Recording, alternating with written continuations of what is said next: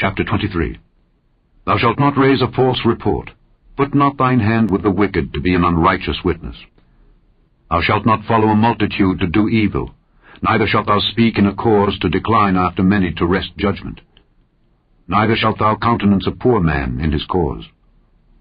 If thou meet thine enemy's ox or his ass going astray, thou shalt surely bring it back to him again. If thou see the ass of him that hateth thee lying under his burden, and wouldest forbear to help him, thou shalt surely help with him. Thou shalt not wrest the judgment of thy poor in his cause. Keep thee far from a false matter, and the innocent and righteous slay thou not, for I will not justify the wicked. And thou shalt take no gift, for the gift blindeth the wise, and perverteth the words of the righteous.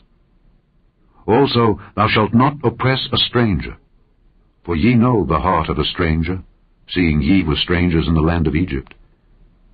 And six years thou shalt sow thy land, and shalt gather in the fruits thereof, but the seventh year thou shalt let it rest and lie still, that the poor of thy people may eat, and what they leave the beasts of the field shall eat. In like manner thou shalt deal with thy vineyard, and with thy olive yard.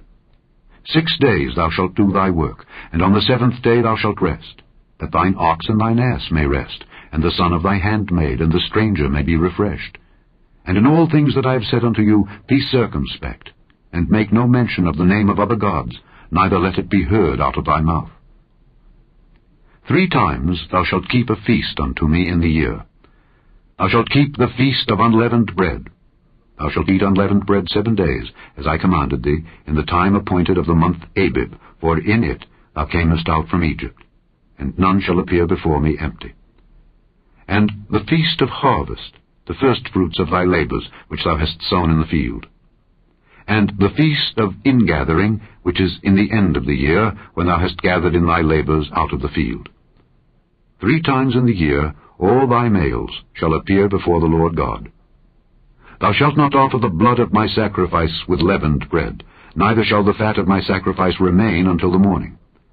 The first of the firstfruits of thy land thou shalt bring into the house of the Lord thy God. Thou shalt not seethe a kid in his mother's milk. Behold, I send an angel before thee to keep thee in the way, and to bring thee into the place which I have prepared.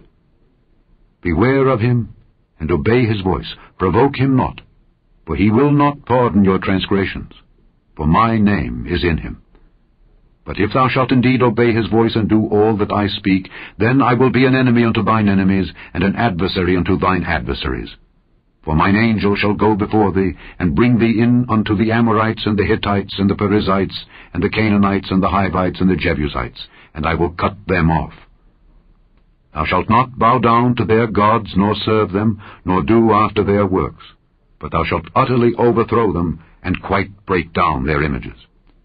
And ye shall serve the Lord your God, and he shall bless thy bread and thy water, and I will take sickness away from the midst of thee. There shall nothing cast their young, nor be barren in thy land. The number of thy days I will fulfill. I will send my fear before thee, and will destroy all the people to whom thou shalt come, and I will make all thine enemies turn their backs unto thee. And I will send hornets before thee, which shall drive out the Hivite, the Canaanite, and the Hittite from before thee. I will not drive them out from before thee in one year, lest the land become desolate, and the beast of the field multiply against thee. By little and little I will drive them out from before thee, until thou be increased and inherit the land. And I will set thy bounds from the Red Sea even unto the sea of the Philistines, and from the desert unto the river.